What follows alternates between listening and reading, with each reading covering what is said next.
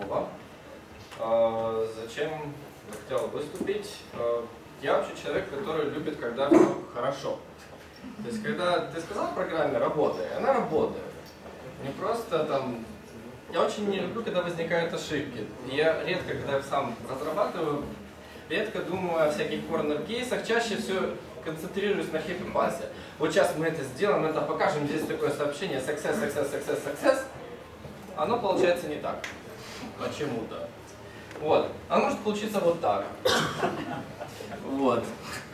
Э, Эта штука, я думаю, печалила вообще очень многих за время пользования Microsoft Windows. Я собрал всякие разные прикольные сообщения об ошибках, то есть я буду говорить об ошибках.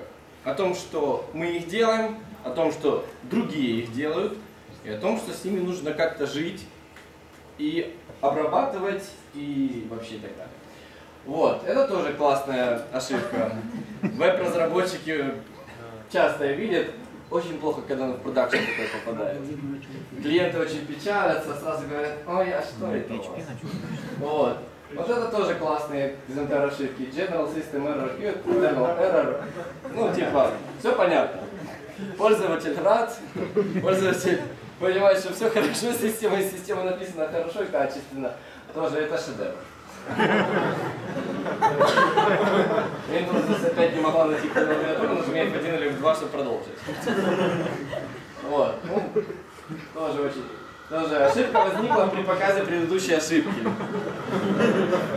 Даже ошибки, которые, ну, блин. Вот, тоже фото printing with an error, тра та та та та the completed successfully. Типа, ошибка была, но ошибка заключена. Наверное, очень плохо, что у вас все хорошо. Вот. А, вот это плохо. Как должно быть? Месседж. То есть мы... Хорошо, если на проекте есть бизнес-аналитик. Если есть человек, который там занимается общением там, с клиентом, там выясняет там все, там UI как должен быть, сообщения какие должны быть. Но я так отметил для себя, что в 80% случаев они коммуницируют только success сообщения. а там you have successfully added new record. У, классно. А когда программист не знает, что от него ждут, и в сообщении, когда рекорд не удалось добавить, он пишет, ну там, I was been able to successfully add error 2. Вот. Или там просто там какой-нибудь кусок SQL вывалил. Или, или там stack trace такой длинный. Вот. Это, это, ну, мы же люди как бы умные. Мы же думаем мозгом перед тем, как что-то делать. Нужно показывать э, сообщения, которые пользователю, ну, зачем-то мы показываем, верно? То есть что-то пошло не так. Что-то пошло не так, что нужно сказать пользователю. Первое, что не так? Что пошло не так? Куда мы пошли не так? Почему так произошло? Это пользователь тоже, ну, то есть я там не смог, ну, что значит, покажу пример. И что делать дальше? Ну, то есть, когда мне просто говорят, fatal error. Что делать дальше? Ну, fatal error. В общем, это я как бы сделал пример сообщения, которое, как мне кажется, приблизительно то, что хочет увидеть пользователь. We couldn't load profile data. What? Что мы хотели сделать? Load profile data. Why? Because you have no access to it. Окей. Что делать дальше? Please make sure you have sufficient permissions. То есть это сообщение говорит о том, что мы что-то делали, что мы почему-то не смогли, ну, почему мы не смогли это сделать и что дальше может сделать пользователь. Это, на самом деле, сейчас это больше не около .NET, это вообще о программировании в целом. Но это очень важная штука, о которой ну, пользователи забывают. Ну, я на, своем, на своих проектах ну, неоднократно наталкивался на проблему, что он говорит, ребята, а что это у вас за такие интересные error messages? Почему у вас везде одинаковые и никогда не говорят о том, что четко происходит с системой? Вот. Это, все знают, кто это? Да. В общем, это slowpoke. Плохо, если ваше сообщение об ошибке это slowpoke.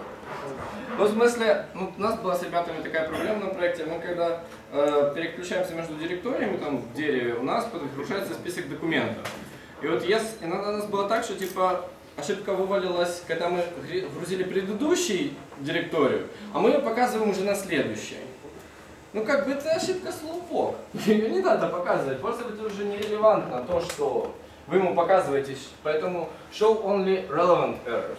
То есть если пользователь уже не в контексте, и это на самом деле уже и не важно, то не показывайте. Зачем? Он счастливенько пришел себе уже новое место, вы там взяли там логированием своим или exception хендлингом, залогировали себе, да, если что, мы посмотрим, когда нам вдруг логи пришлют. Надеемся, что не пришлют, в смысле, что проблем никто никогда не увидит. Ну, конечно, такого не бывает, но тем не менее, это тоже очень важно. Э, это то, что касается то, как мы продуцируем ошибки пользователя. Э, есть еще такая штука, как external fault. Это когда, ну, мы сейчас редко живем в замкнутой экосистеме, когда мы не общаемся ни с каким другим там REST API или SOAP API или там куча любых разных могут быть провайдеров данных для нас.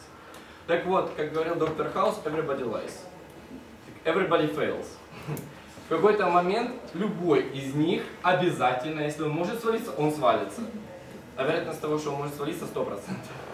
Поэтому будьте к этому как минимум готовы. То есть в частности, сейчас коснусь темы REST.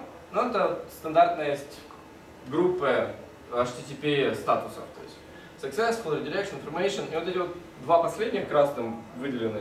Client error и Server error.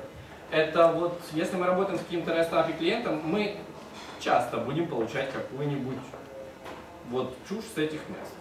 И нам нужно на нее адекватно реагировать. Причем нам по-хорошему нужно каждый раз, вот я немножко развернул, это самые вот типичные. Bad request, unauthorized, forbidden, unfound, conflict, internal server, bad gateway, service enabled. На всех их нужно отреагировать. Но при этом по-хорошему отреагировать уникально. То есть на unauthorized нужно показать логин форму. На forbidden сказать, что sorry, чувак, у тебя вообще, ты не можешь с этим работать. Not found, ну, not found, нема такого. Або ти не маєш до того прав. Internal server error тоже там нужно какое-то другое сообщение сказать о том, что мы не смогли приконнектиться там, не знаю, к Facebook API, потому что Facebook умер. Ну, такое бывает редко, но тоже бывает. И то есть вот эти, это может быть не обязательно, это сейчас конкретно штат, э, HTTP статус коды. Это могут, если вы общаетесь с SOAP каким-то, у них есть свои fault контракты. То есть всегда есть какой-то fault контракт. И вам нужно четко уметь реагировать на него. А, мы вот у себя в проекте, я так взял, скопировал сюда, для вот таких вот HTTP-шных вещей эм, сделали такой враппер над, над респонсом, который мы получаем от а Operation Result. Он, по сути, враппает T-Result, ну, то есть это любой тип. І в Operation Status он держит это payload, то есть что это было? Це был, это был конфликт, или not found, или unauthorized, или еще что-то. И теоретически дальше консумер этих вещей может отреагировать. Иногда бывает, что нужно сделать там несколько запросов подряд. Э, что делать? То есть каждый раз проверять это, а, а что successful, да, нет, а тот successful, да, нет. В общем, так, я эту презентацию куда зашаю, это такой extension метод, который позволяет делать continuation. То есть если source status successful, тогда выполняем функцию, иначе возвращаем с дефолтным результатом новый operation result с типомtout. Ну, то есть берем t-in source, возвращаем t-out, и так позволяет делать чейнинг. То есть если у вас там, например, get information, ну там get list, get information, get там еще что-нибудь, еще что-нибудь, и в итоге там пост какой-то там update, если вам это нужно сделать несколько раз, то есть, грубо говоря, второй свалится, вы уже получите там какой-то, например, 401 unauthorized. Вопрос какой-то? Угу. А, якщо звалиться фанк. Якщо звалиться фанк, ну, тут то якесь можна додати. Там був на початку такий правильний. Не, я, я понимаю. Им, имидж показывал про это. О, дуже дальше. Это не реакция на событие. Это просто хелпер, который позволяет их дальше прокидывать. Это для примера сделал. Да, здесь можно делать лучше. Можно try, catch, делать красиво, так, облизывать код со всех сторон, чтобы он был такой весь очень правильный и реагировал на любой exception, да. Но в итоге exception, который попадет пользователю, должен быть релевантным. Если у тебя свалился фанк там out of memory exception, то нужно показать, что sorry, we have no error или что-нибудь, или просто тихонько умереть. Вот. А если это был там какой-то response э, от сервера, типа 404. Ну, тут нужно показать что-то, ну, что нема такого. Щось ти що питаєш, того нема. Вот. Опять же, такое напутствие. Be ready for failure. Они случаются. Всегда. Всегда об этом не забывайте. Я забываю, вы не забывайте, пожалуйста. Вот. А, есть еще такая штука, с нами могут интегриться. А, мне когда-то рассказывали про проект, у них был, ну, получается, система справочников. И к этим справочникам коннектились куча всяких разных там клиентов, и у них был вот плохой ответ на все. Генерал Фейлор. Генерал Фейлора. Вот. General Failure, он, получается, никаких других ошибок больше не было. Был только General Failure. И потом они, им когда приходилось с этим делом ну, там, сталкиваться, ребята, вы там, мы, мы вас спрашиваем, вы валитесь, а что у вас? Он генерал Фейлор. Окей, давайте смотреть логи. Ну, то есть, опять же, вот с вашими судьбатами negotiate the contract, обсуждайте контракт, по которому вы общаетесь. Но кроме того, fault contract тоже очень важно обсуждать. То есть, чтобы не тоже понимали, какие вы можете ошибки им возвращать. То есть, если они у вас что-то попросили не то, ваши стандартные ошибки. То есть, это тоже очень важный момент. То есть, не- это, они, по сути, тоже ваши пользователи. То есть, тоже те же самые пользователи, которые видят, эти- хотят видеть эти адекватные сообщения об ошибке. Если будете им показывать неадекватные сообщения об ошибке, они будут расстраиваться. Вы будете расстраиваться, потому что они будут на вас типа кричать, «А что вы за фигню нам прислали и так далее. Вот. Э, Плавно перехожу, как-то быстро пошел на эксепшены. Это уже больше .NET Specific тема. А, Чего я здесь коснусь вообще? Стоит ли их использовать, как их по-хорошему использовать? И я нашел в интернете, на, на сайте даже на MSDN есть прикольная статья Best Practices for Exceptions. Классная штука, если никто не читал, очень советую. Открыл для себя некоторые новые вещи. Ну, плюс там, в принципе, я в конце ресурсов несколько кинул. Э, Что такое exception? Вот с- подум, прежде чем как его вот thrować внутри системы, подумайте. Э, Вот вы сейчас жмете на кнопку Emergency Stop. И теоретически может такое, ну если вы там не добавили еще где-то дальше кучу кетчей, то у вас вся вот во- весь ваш flow программы, он так делает, так хринц, и все. То есть все замирают, пока оно там кидается, stack trace, наворачиваются, до последнего, кто поймает и за handle ит. То есть при этом это вот достаточно ситуация, которая возникает не всегда. И нужно очень четко с ней работать. Поэтому это первый вещь, которую нужно взять себе на consideration. А, Можете ли вы с этим exception ом что-то сделать? Вот в том месте, где вы его поймали. Вот вам, у вас есть кусок кода, там стоит, ну, вы знаете, что он может бросить какой-то exception. Стоит ли добавлять там try catch? Ты его в том месте можешь адекватно за handle ить? У тебя в руках бомба, ты можешь с ней что-то сделать? Ты можешь перерезать проводочки? Это красный, синий, да, нет? Нет, да, да, да. Лучше отдай следующему. Вот, может быть, он знает. Вот, то есть это такая вещь, то есть если можешь захендлить, тогда хендли. Я здесь немножко в перемешку сейчас, стоит ли бросать, стоит ли хендлить.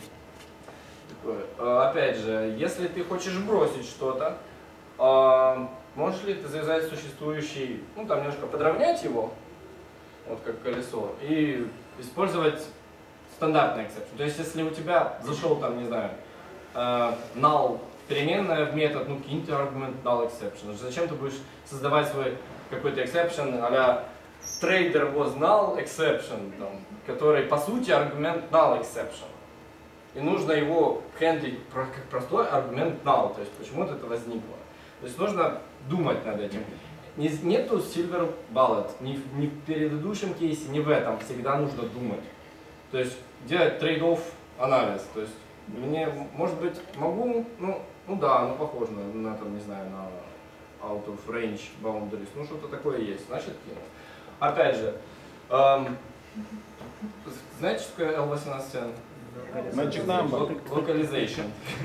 Вот. Это localization, это если ваш exception когда-нибудь, или вернее exception message дойдет до UI, то его увидит пользователь, на каком бы языке он не говорил.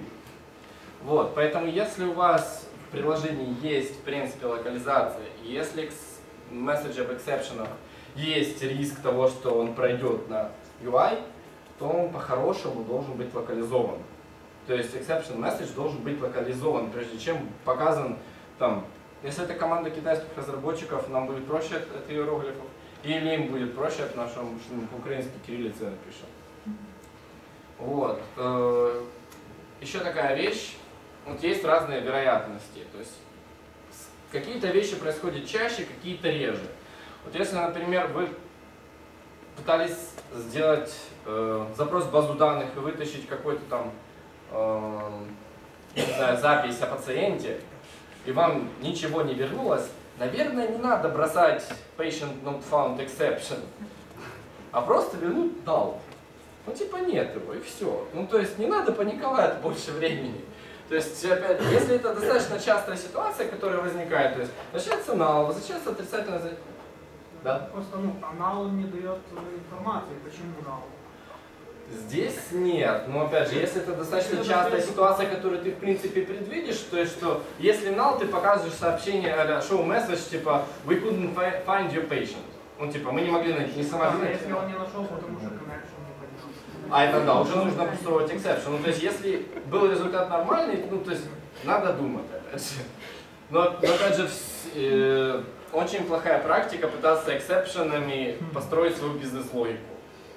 Потому что exception это опять же вот, а давайте-ка мы рубанем рубильник а fire, emergency, это все будет логироваться, кидаться э, и так далее. Вот, собственно, логироваться. Вещи, которые к exception handling дополнительно идут. Это логи, трейсы и журнал. Все эти вещи могут в какой-то момент вам помочь, и желательно, чтобы в этих местах была адекватная информация, которую уже можете прочитать вы сами себе. А зачем нужны логи?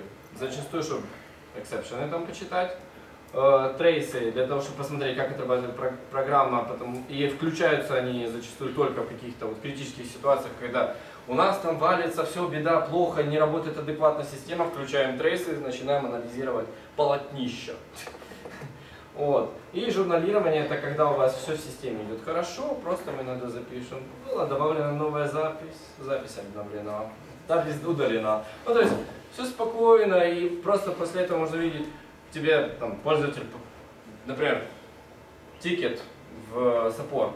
Там у нас пользователь нажал на add, у него там все вылетело, куча ошибок, ваша программа не работает. Вот. А ты смотришь ему журнал и смотришь там, открыл, закрыл, удалил, пытался открыть, попытался открыть, попытался открыть, и приблизительно в это время пришел ticket в этот support. Он, то есть, наверное, пользователь что-то не совсем э, так делал. Эм, еще такой из банальных вещей, так, насчет exception handling, просто хочу сказать, насчет, никогда не делайте rethrow exception, который вы поймали, потому что stack trace хрень, ну, теряется. Вот. И до последнего C-Sharp await нельзя было делать в кэчблоке. В последнем C-Sharp уже можно. Вот. То есть это такие два напутствующих вопроса. Я понимаю, я очень быстро, но вопросы. Просто хотел бы сказать насчет ресролла. Может, не все понимают, что ресролл это когда вы поймали catch exception E, и потом написали throw E. Ну да. То есть надо писать просто throw. Throw точка запятая. Там нет, 4.6 специальный файл для проброс exception. Можно его смотреть. Там у него proxy exception, вы еще можете напомнить, он trace полностью разбил, еще и дополнительно там добавить. Ну, это интересно, говорят, это просто не точно. А, еще вопросы? Ну, если нет, тогда я, наверное, спрошу очень быстро. Спасибо.